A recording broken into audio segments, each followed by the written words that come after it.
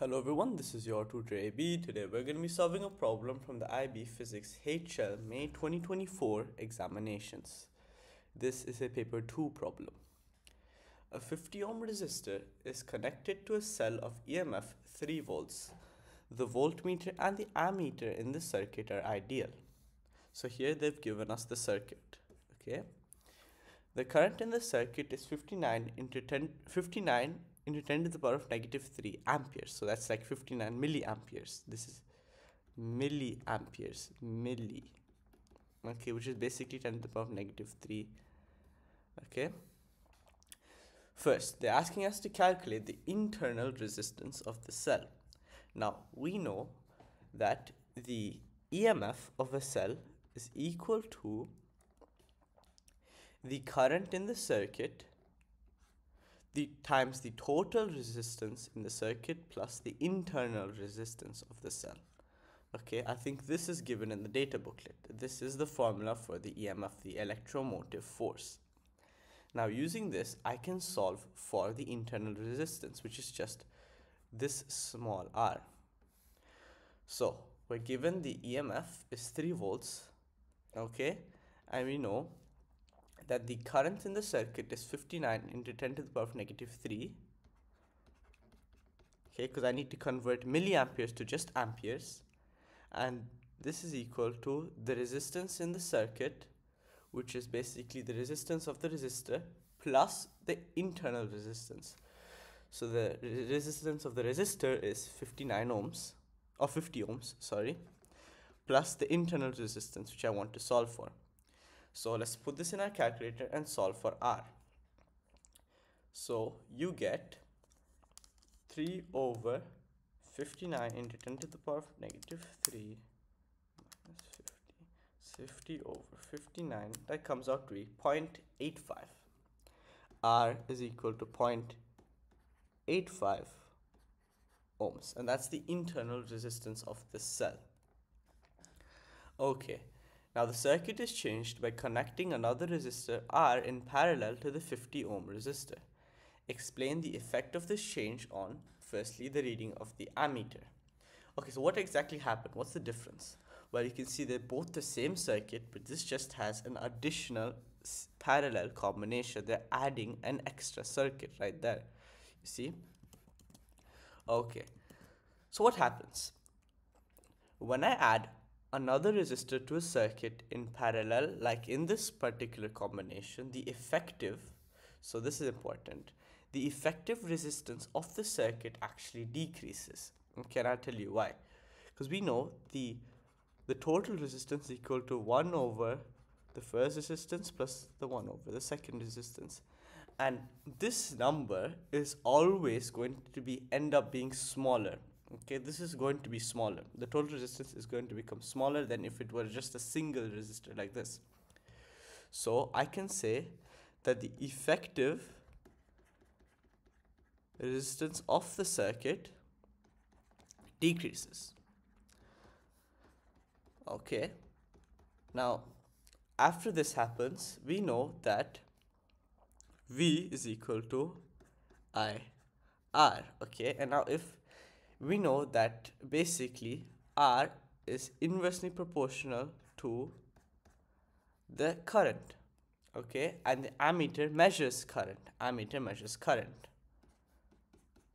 So if the resistance goes down the current must go up because they're inversely proportional. So we can say that the reading of the ammeter meter increases.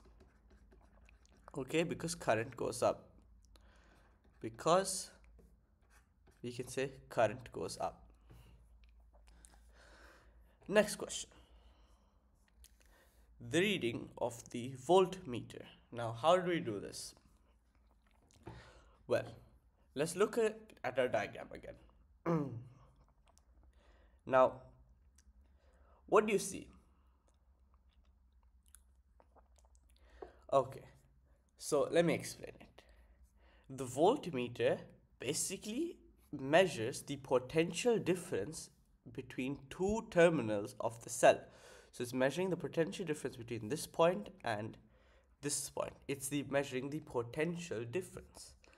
So the formula for potential difference is going to basically be potential difference is nothing but like the external voltage. So that's the voltage due to the resistors in the cell minus the voltage due to the internal resistance of the cell. So that's basically going to be the electromotive force minus the the voltage due to the internal resistance of the cell. This is voltage due to internal uh, resistance. Okay. This is what the voltmeter basically measures. It's measuring the potential difference. Now, okay, so when I add another resistor into this circuit, I knew from the previous question that the effective resistance decreases and the current increases.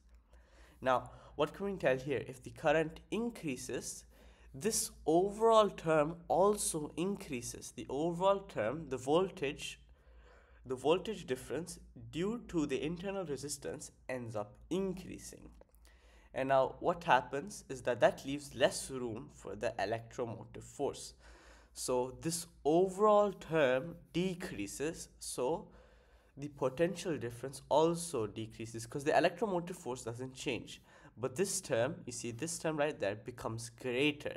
And so 5 minus 4 and 5 minus 3, which is greater? Which one will like end up becoming smaller? 5 minus 4. So similarly, because IR in this case has become greater, the potential difference after the resistor has been added becomes smaller. Becomes smaller. Okay, so just to summarize it, the potential difference is given by this formula, the electromotive force, which is the maximum possible potential difference of this circuit minus the voltage I voltage due to the internal resistance of the cell IR okay? And now we knew from the previous question that as the effective resistance decreases the total current in the circuit increases. And when this happens this overall term becomes greater and when it becomes greater E minus the second term is a smaller number so potential difference becomes smaller okay now, part C. R is made of a resistive wire of uniform cross-sectional area of 3.1 into 10 to the power of negative 8 meters square. Resistivity is equal to 4.9 into 10 to the power of negative 7 ohm meter and length L. The resistance of R is given by the equation. Okay. Now what formula do you know from your data booklet that includes a term for resistivity? Well, it's right here. P is equal to RA over L. This is in your formula booklet. Okay. And basically, it's this R that I want to solve for. This R gives me resistance. This is resistance. And what is this R? This R is also resistance. So I think you I might know where, where I'm going to go from this. So if I solve for R, it's resistivity times by the length over the area and that's equal to R but we also know that R is equal to KL.